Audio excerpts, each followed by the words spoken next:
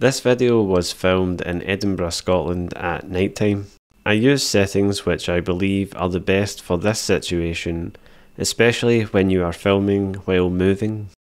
The reason why I chose these settings is because they reduce the amount of motion blur in the video. What you can see in this video is exactly how it was that night. It was just as dark as you can see here.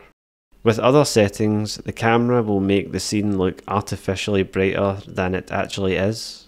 But the problem with that is that you get quite a lot of motion blur, so things aren't as clear and sharp as they could be. So for this video I used 50 frames per second. This gives a nice fluid, realistic motion to the video. Then, because I have used 50 frames per second, I then needed to use 1 over 200 shutter speed in order to eliminate any motion blur. You then have to choose the correct ISO number.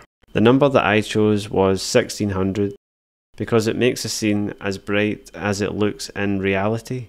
If I chose a higher number, the image would look brighter, but it would start to introduce noise.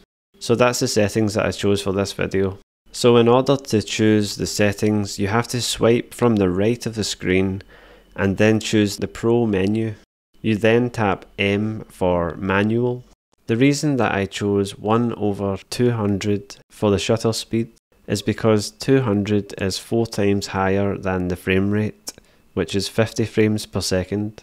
This eliminates motion blur when you are moving.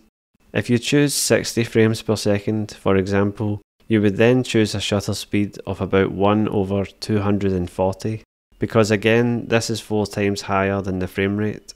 This camera has anti-flicker settings, which should hopefully eliminate any flickering.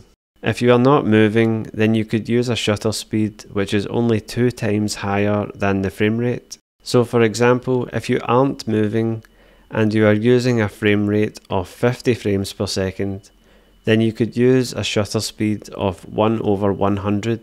Again, this is if you don't want any motion blur. Thanks for watching, I hope this video was helpful. Please subscribe to my channel. I'm trying to reach 1000 subs.